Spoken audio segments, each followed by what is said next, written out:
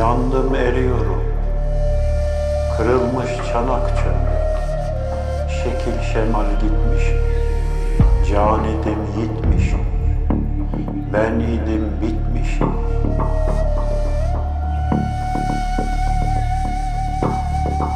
Dökülmüş, sökülmüşüm, yandım eriyorum, uyandım görüyorum. neden arıyor?